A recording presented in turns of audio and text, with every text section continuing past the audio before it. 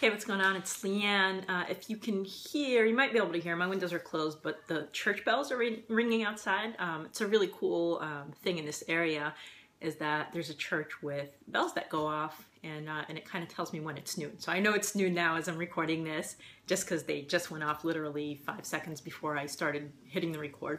I'm standing in my kitchen right now. I'm actually leaning forward to that. My face can be on camera. Uh, and you can see I'm wearing a, gray shirt right now, but actually I was wearing a white shirt today uh, for a little mini Seder. Uh, it's not really uh, Passover yet. Uh, it starts tomorrow, e tomorrow evening. Uh, and tomorrow evening I'm having a little Seder with, with my sister and my brother and, you know, my wife and then just our close immediate family. Um, but anyway, I, I, changed out of it because I need to make gefilte fish. so, which I'm actually for whatever reason, not so looking forward to. Anyway, so I'm, I'm sitting here in the kitchen, and, you know, I guess I am kind of looking forward to it. I just hope it really comes out good. I'm, I'm doing kind of a unique recipe. It's not going to be, you know, little nuggets. It's going to be in, in squares in a pan, and um, with the way that my cooking is, it's questionable whether it'll turn out right or not. But I'm, uh, I'm good at following recipes. So I'm going to follow recipe to the T, and hopefully it's a good one.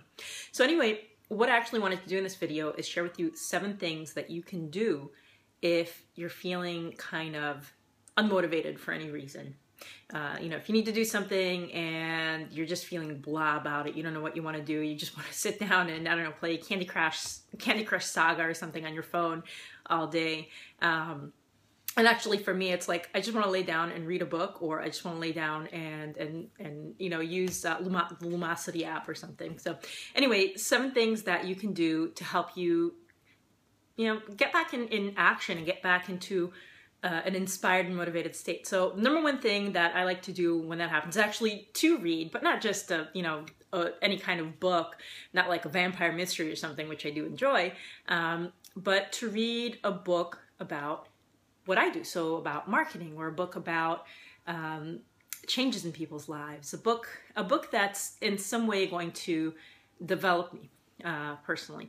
And the result of reading a book like that is that um, you actually you actually when you when you see how other people change and when you when you learn things it there's something about I don't know. There's something about learning. It's it's like two different things, right? I guess I can call this number one and two. Number one would be a personal development book where you're reading about other people's results and how they've changed. You know, almost like reading an autobiography or someone's biography of how they've surpassed something.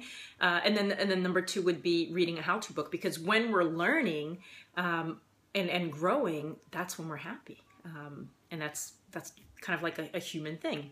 So, so that's number one and two is two different kinds of books. And in the same way, there's two different kinds of audios that, that you can listen to. Um, Audible um, is a great company that actually Amazon, I think, owns now. Uh, they definitely own it now. I don't know if they bought it or, or took it over or, or, what, but they own it now. Um, and and I love it because you can get every kind of book in there. You, you, can get you know the the regular vampire mystery book or whatever you want you like to read, Fifty Shades of Grey, uh, which I haven't read by the way um, and I don't really have an intention to actually, um, unless someone puts in the comments that I really need to for any reason. But anyway, two different kinds of books, right? So we have uh, two different books, two different audios, and one of those audios we can get motivational stuff like Zig Ziglar, right, where uh, he talks about people who again have um, overcome difficulties and and and gives you you know stories to to kind of make you think about your own life and what you can do. And then in the same way, you can get a book that on Audible that teaches you something, right? Um, like uh, Think and Grow Rich, or um, um, my favorite of all times. I always say it. I had it in the last blog post. Your right to be rich. So two books, two audios. That we're down to three left to go that I promised you. Actually, before I started recording this, I didn't know what they were going to be, except for three of them. So so now we've got four, and uh, the original third one, which is now number five, is actually writing down all the stuff that's going on. Because for me, a lot of times when I feel overwhelmed this way and I go, oh my God, I don't even want, I don't want to pick up the phone. I, if I need to pick up the phone, I don't want to send an email. I don't want to do this thing. I don't want to take action anywhere. I don't want to go in the kitchen and cook. I, I just want to like, you know, sit down and do nothing. Um, a lot of times it's because I've got too much going on. And so one thing to do when you have too much going on is to, first of all, get it organized, but not just organized like, oh, I'm going to do this today and this tomorrow, because that's still overwhelming.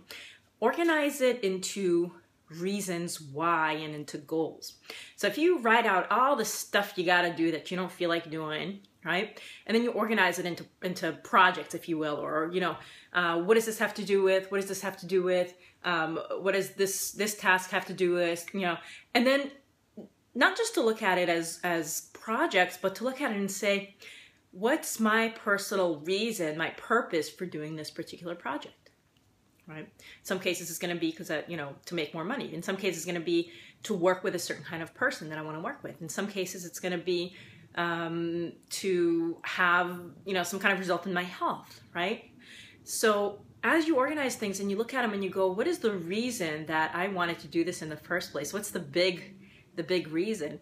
What you'll find is that your reasons will start to motivate you. And it's getting really uncomfortable to like lean forward on the counter in this weird way. So uh, I'm, I'm, adjusting. Um, but yeah, so so think about your reason why, your purpose, and what you want to really, really accomplish. And that's going to take you a long way. So that's five things.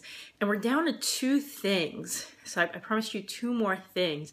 And to be honest with you, right now, I can't think of what they are. And instead of keeping you watching this and, you know, paying attention as I go um, um, and think, I'm going to add those last two things in text below this video for uh, for your enjoyment. So, um, so what to do now? Well, first of all, just to let you know, this is video number three. I don't know if I'm going to keep counting because I might lose count at some point, but this is number three in a 90 day video challenge.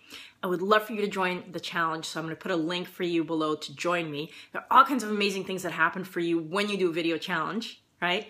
Uh, Number six. Oh my gosh, I've got number six for you. I'll still write everything down for you, don't worry. Number six is creating habits because when you have daily habits of doing something that takes you towards a goal, then it doesn't take so much um, motivation or willpower to get it done. You just kind of do it. It's just like getting up and brushing your teeth. Hopefully, that's what you do, right? Hopefully you brush your teeth every day. Um, it's kind of a habit, right? So, uh, so that's number six. I might come up with number seven before I finish this. If not, again, I'll write it down.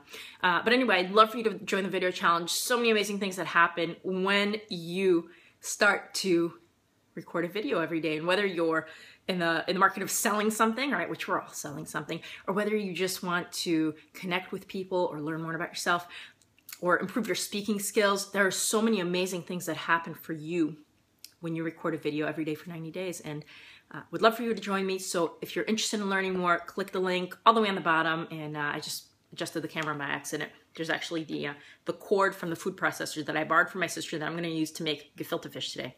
Um, just moved the the little miniature tripod that my uh, phone is sitting on because again, it's really like super uncomfortable to lean against this um, this counter the way I'm leaning against it. And if you saw it, you know what I mean. So anyway, number seven will be below this video as well as a link to for you to join the uh, 90 day video challenge, which would be so cool to have you do that.